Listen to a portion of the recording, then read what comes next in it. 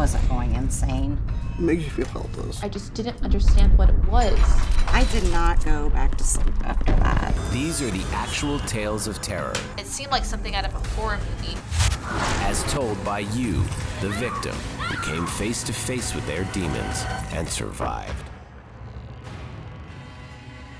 Eli Roth presents A Ghost Ruined My Life. New episode Friday at 10 on T+E.